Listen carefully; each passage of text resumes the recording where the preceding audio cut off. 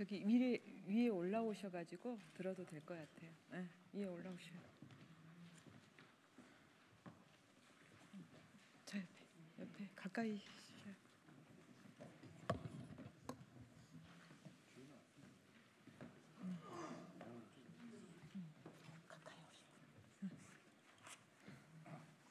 시작할까요? 네, 안녕하십니까. 정의당 민생본부장 추혜선 의원입니다.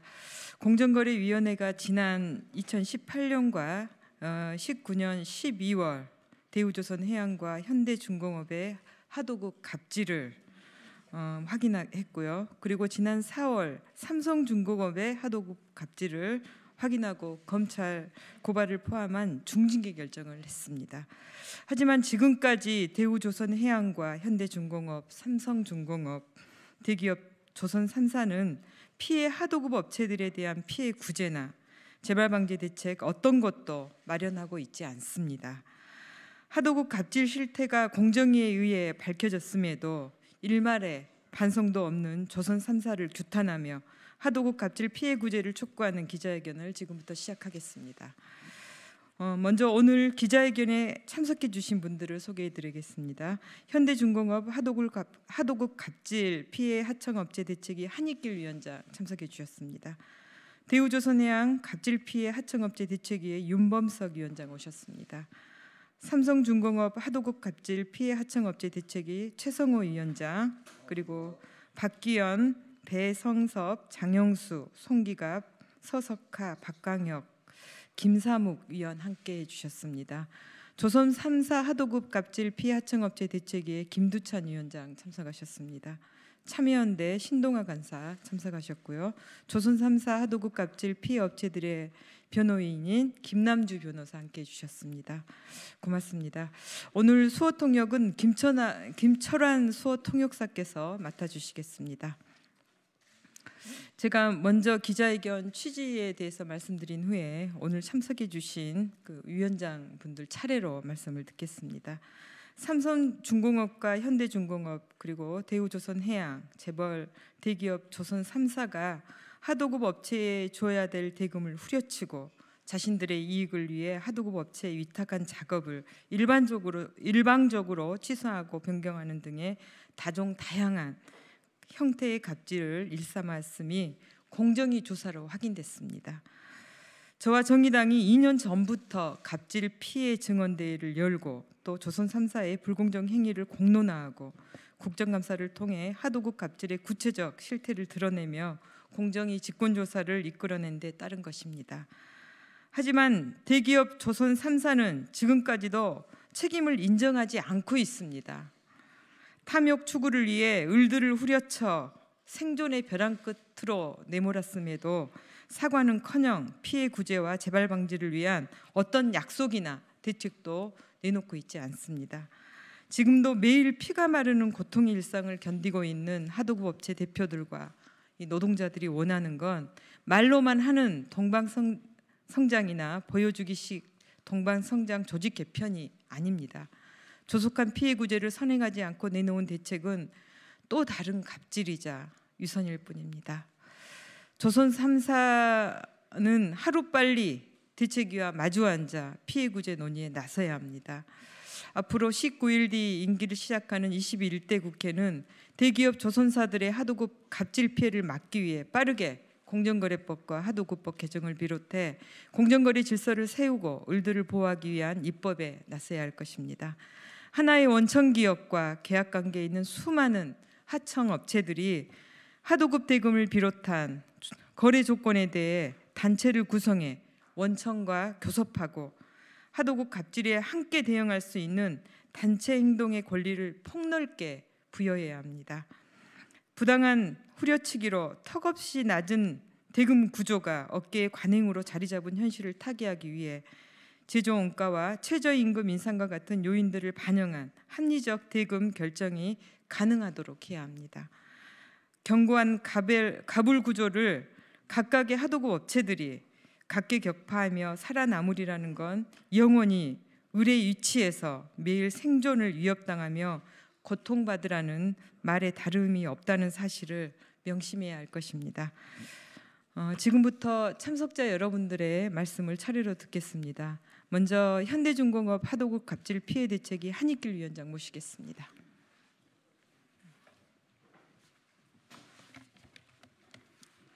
현대중공업의 가벌 관계는 공정하지 못하였으며 하도급 관계는 상생하지 못한 일방통행식 노예 관계였습니다.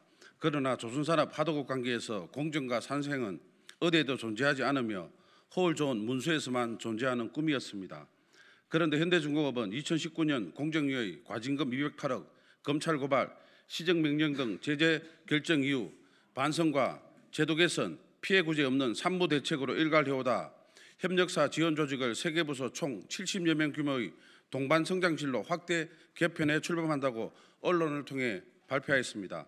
그래서 우리 대책위에서는 현대중공업의 이번 동방성장실 확대 개편은 지난달 하도급 갑질에 대한 반성과 제도 개선의 의지가 있을 것을 예상하고 현대중공업 동방성장실 김숙현 부사장에게 직접 유무선상으로 대책위와 피해 구제에 대한 논의할 것을 요청하였으나 아무런 대응조차 없는 언론 플레이였다는 것을 만천하에 드러났습니다. 현대중공업은 하도급 갑질로 이익을 만들어 2018년과 2019년 정몽준 일- 사가 일가에게 1,767억 원의 고배당을 실시한 바 있다. 동방성장질이 확대, 개편된 지금도 현대중공업 하청업체는 임금 체불이 발생하는 우픈 현실인 점을 감안하면 너무나 빈- 분노가 치밀어 옵니다. 우리 대책위는 다시 한 번 더 제안 촉구합니다. 대책위와 직접 피해 구제에 관한 논의를 할 것을 현대중공업 동방성장실 김숙현 부사장에게 오늘 기자회견을 통해 다시 한번 촉구한다.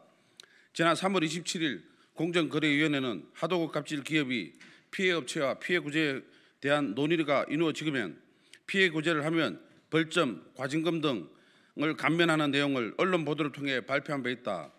우리 대책위도 현대중공업이 공업입찰 제한, 영업 정지 등 공정위의 하도급 갑질에 대한 제재를 대한민국 나아가 울산 동구 경제를 위하여 원하진 않고 있다. 우리 대책에 소속 15개 피해 하청업체 총 피해액이 3년 기준으로 약 1,038억인 정도이지만 사주 일가가 배당, 사주 일가에 배당한 1,767억 원의 약 15% 정도이면 공정위 과징금 수준이면 동방성장의 길을 같이 갈 수 있음을 여러 차례 밝힌 바 있다. 다시 한 번 더 촉구합니다. 현대중공업이 진실된 동방성장실로 만들고자 한다면 우리 대책위와 피해 구제에 대한 진지한 논의를 하여 결과를 공정거래위원회에 제출하여 공업 입찰 제한, 영업 정지 등의 제재에서 벗어나 진정한 갑과 을의 동방성장으로 세계 1등 조선소의 명성을 지킬 수 있도록 노력할 것을 촉구합니다. 공정거래위원회도 다시 한 번 더 호소합니다. 현대중공업의 대우조선해양 인수합병 기업 결합심사에 하도급 갑질에 대한 피해 구제를 전제로 조건부 심사가 이루어질 수 있기를 간절히 바랍니다. 현대중공업 하도급 갑질 피해 하청업체 대책 일동 네, 수고하셨습니다. 다음은 삼성중공업 하도급 갑질 피해 하청 대책 대책위의 최성호 위원장 모시겠습니다. 반갑습니다. 저는 삼성중공업 피해 협력사 대책위원회 위원장 최성호입니다. 저는 오늘 우리나라의 굴지 대기업인 삼성중공업의 상상 초월 악랄하고 잔인한 하도급법 이양 내용을 여러분에게 고발하고 호소하자고 합니다.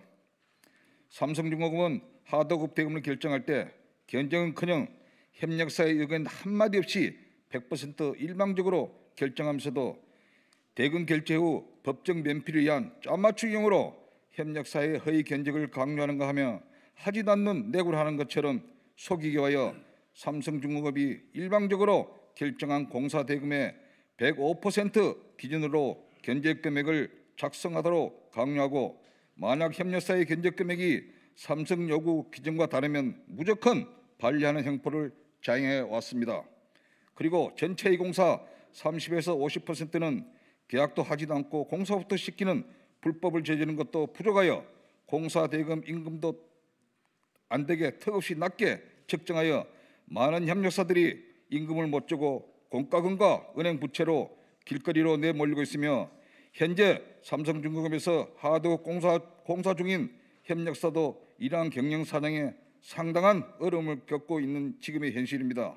뿐만 아니라 삼성중공업은 삼성중공업 100% 과실로 협력사 사원이 사망한 안전사고를 내고도 안전팀이 사고를 조작하여 협력사에게 책임과 비용을 전가하는 비도덕적이고 파렴치한 행위와 공정위 신고 보복 행위 그리고 공정위 조사 시 조직적인 방해 행위 등 하도급법을 무시하고 유린하면 물론 우리나라의 법치 체계의 근본을 부정하는 행위를 일만의 양심도 아무런 두려움 없이 서슴, 서슴없이 자행하고 있습니다.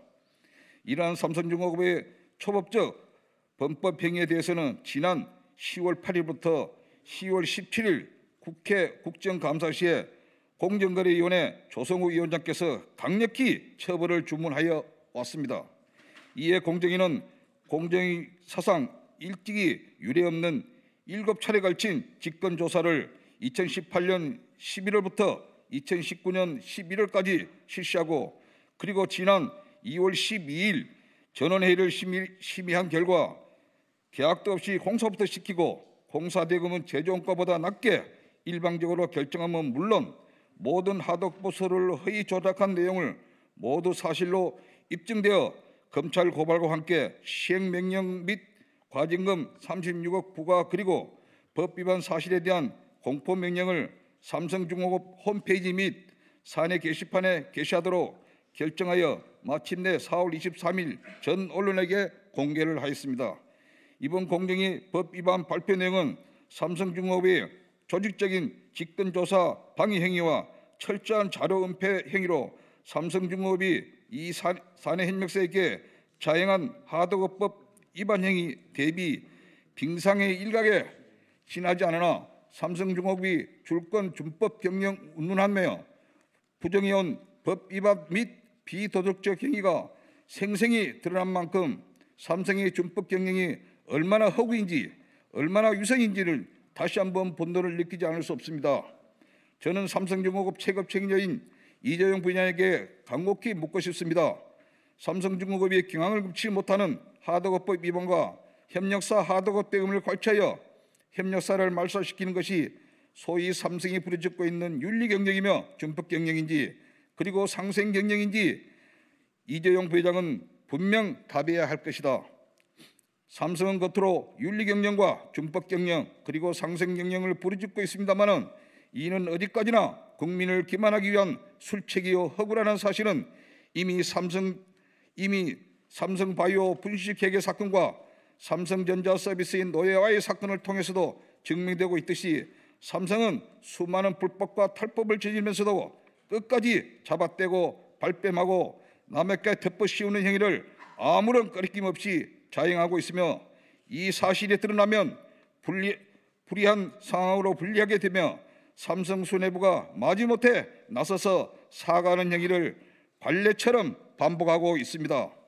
삼성은 아직도 이러한 구태를 버리지 못한 채 이재용 부장이 국정농단 뇌물 사건과 관련 법원으로부터 죄값을 모면하기 위하여 준법감시위원회를 긴급히 출범시키고 있습니다마는 삼성의 진정성은 불행히도 그 어디서 보이지 않고 있습니다.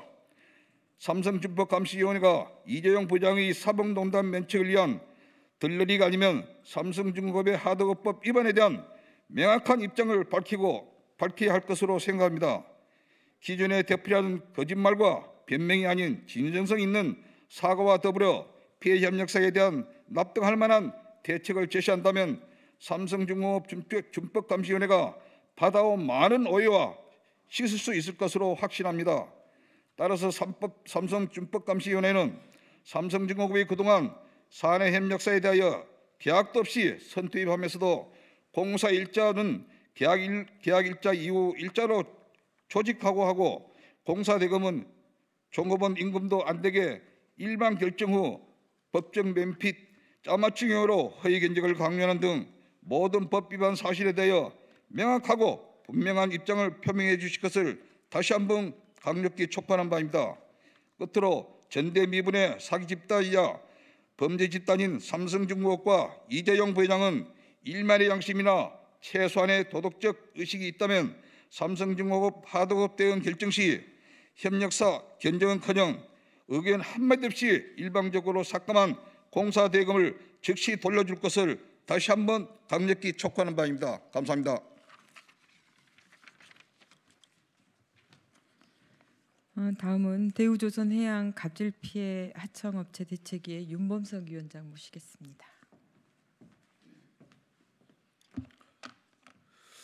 대우조선해양과 산업은행에 강력하게 촉구한다. 대우조선해양은 회사 자체의 부실 경영과 분식 회계로 인한 부도유기에 몰려 있을 때 지난 보수 정권에서 도움을 받아 공적 자금을 투입하고 현 정권에서 관리 감독을 해오면서 경영 정상화를 이루었고 흑자도 달성하게 되었다. 그러나 공적 자금이 투입된 후 시작된 해양 플랜트 감소와 맞물려서 경영 정상화의 일환으로 하도급 업체의 기성금을 삭감을 통하여 이루어진 것이 지난해 공정위 조사로 알려지게 되었다. 현 정권과 국정 방향과 21대 총선을 지지해 준 대다수의 국민들은 공정 경제와 불평등과 갑질 문화를 근절하고 선진국으로 도약하는 민심의 방향과 같이 하는 것으로 생각한다. 하지만 지난 4년 동안 하도급 피해 업체인 저희가 느끼는 심정은 친기업적인 부분과 국가 기반 산업이라는 프레임에서 한 발짝도 벗어나지 못하고 있다는 것을 느낌을 지울 수가 없다. 그러나 국회의 국정감사와 국회 여러 가지 민생 현안 활동을 통해 대우조선 하도급 문제를 해결하려고 지금도 노력하고 있다는 것은 사실이다. 하지만 결실을 맺지 못하는 대우 조선 해양의 하도급 문제를 20대 국회에서 마무리되지 정리가 되지 않는다면 180석이라는 국민의 명령을 수행할 대의정치 대리분, 대리자분들에게도 우리는 낙심하고 실망하게 될 것이다.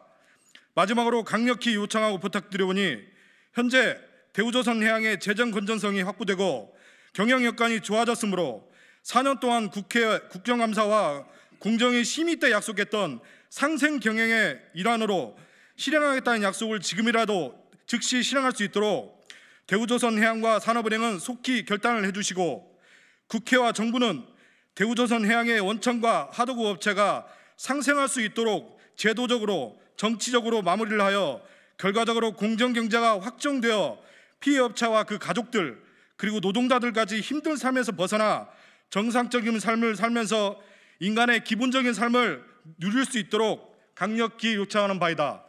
대우조선해양 하도급 대책위원장 윤범석 일동입니다. 네, 참석하신 분들 마지막 말씀을 듣겠습니다. 김남주 변호사 모시겠습니다. 네, 저는 어, 이 조선소 분들하고 같이 한 5년 전부터 이 사건을 같이 해왔습니다. 처음에 들었을 때는 어떻게 세계 초일류 조선소들이 이렇게 하도급법을 위반할 수 있을지 믿기지 않았습니다. 하지만 그것이 하나둘 사실로 밝혀졌고 대우조선해양 그리고 현대중공업, 삼성중공업을 차례로 공정거래위원회에서 이것이 밝혀졌습니다. 아주 전근대적인 기업 문화입니다. 계약서 없이 공사 먼저 시작하고 그리고 원청이 주는 대로 결정하는 대로 하도급 대금을 주고 하도급 대금이 부족해서 아우성 치더라도 망하는 회사는 그냥 쫓겨나는 이러한 실태가 현재 K 브랜드로 전 세계적으로 지금 우리의 자긍심이 높아지는 이러한 시기에도 아직 조선 산업에는 만연해 있습니다. 이것을 우리는 시급히 개선하고 피해자를 구제해야 할 것입니다. 문재인 대통령도 대통령 공약으로 범정부 을지로위원회를 공약했습니다. 그리고 공정한 경제를 약속했습니다. 범정부 을지로위원회는 설치되지 않았습니다. 공정한 경제는 아직 멀었습니다. 공정한 경제는 지금 이러한 조선소 하도급 문제부터 해결하는 것부터 시작해야 합니다. 이 피해자들의 눈물을 닦아주는 데서부터 시작해야 합니다. 조금 전에 대우조선해양에서 상생을 촉구하셨습니다. 정치권과 정부 그리고 시민사회 언론이 모두 합쳐서 상생하는 문화 그리고 조선 산업에서도 K 브랜드가 K 브랜드로 자긍심을 가질 수 있는 그러한 문화를 만들어내야 합니다. 그리고 21대 국회에도 부탁을 드리겠습니다. 하도급법 등 20대 국회에서 여러 번이 통과됐지만 사실상 현장에서는 잘 작동되지 않는 그림의 떡 같은 제도들이 많았습니다. 하도급법에 3배 손해배상, 소위 징벌적 손해배상이라는 제도가 들어와 있지만 현재 활용된 건수는 딱 한 건이고 1.5배에 그쳤습니다. 현실에서는 하도급법을 무시하는 대기업들의 횡포가 만연해 있습니다. 어떻게 법이 현장에서 작동할 것인지 이것도 고민해야 합니다. 노동법을 사업주는 현재 아무도 무시할 수 없습니다. 노동자를 보호하는 노동청이 있기 때문입니다. 중소기업을 보호하는 중소기업 보호청 같은 전담 기관을 만들어서 중소기업의 보호에 힘을 넣어야 합니다. 마지막으로 중소기업이 단가를 제값을 받기 위해서는 함께 뭉쳐서 협상하지 않으면 안 됩니다. 대기업과 일대일로 싸워봤자 항상 중소기업은 질 수밖에 없습니다. 노동자들이 그러한 진리를 알았기 때문에 단체 협상권, 단체 행동권들을 쟁취해 냈던 것입니다. 우리 중소기업과 대기업 사이에서도 이러한 단체 협상, 단체 행동을 할 수 있는 권한들을 법제화하는 시도를 21대 국회에서부터 논의했으면 좋겠습니다. 이상입니다. 네, 기자회견 마치면서 한 말씀 드리겠습니다. 저도 많은 회한이 남고 안타까운 마음이 있기 때문에 좀 정리의 말씀을 드려야 될 것 같습니다. 우리 김남주 변호사가 5년 동안 이분들과 함께했다고 했는데 저는 3년 가까이 이분들과 함께했습니다. 20대 국회가 마무리되는 시점에는 이분들의 어, 이분들이 재기를 할 수 있을 것 같다는 희망을 가지고 함께했습니다. 이분들은 지난 시간 동안 어, 비바람이 몰아치는 천막에서 그리고 거기 거리에서 버텨주셨습니다. 그러나 20대 국회가 지금 보름도 보름 좀 남짓 남은 시간에 보니까 이분들에게 희망 고문만 하게 해드리지 않았나 아, 이런 죄송한 마음이 예, 듭니다. 어, 또 이분들뿐만이 아닙니다. 악명 높은 단가 우려치기에 저항하다 지금 감옥에 계시는 분들도 있습니다. 저는 이제 다음 주부터 그분들을 면회를 한 번씩 하려고 하는데요. 21대 국회에서는 이분들의 피눈물을 절대 외면해서는 안 될 것입니다. 공정을 얘기했던 이 정부도 어, 이분들의 삶의 벼랑 끝에 서 있는 이분들에게 손을 내밀어서 다시 산업의 전선으로 돌아올 수 있도록 길을 만들어 주셔야 합니다. 어, 대우조선 해양을 방문해서 약속을 받아내고 그리고 이분들이 얘기했던 불공정 행위들이 사실임을 밝혀내고 했던 지난한 과정을 거쳤음에도 행정 제재는 따로 있고 이분들의 피해 구제는 먼 얘기고 이런 세상이 제대로 된 세상이겠습니까? 어, 조선 3사는 단순히 불공정 행위만 한 게 아니라 생태계 자체를 파괴한 것입니다. 우리 국가 기반 산업의 경쟁력을 이분들의 피눈물을 이분들의 생존을 깔고 어, 일으켜 세운다는 건 말도 안 되는 얘기입니다. 부디 21대 국회에서 정치가 어, 이분들 약자들 의뢰 편에 을들을 지키는 울타리가 될 수 있도록 그리고 수단이 될 수 있도록 21대 국회에서는 이분들의 손을 꼭 잡아주시길 부탁드리겠습니다. 대구 조 어, 조선 3사도 약속했던 부분들을 하루 빨리 이행을 해주십시오.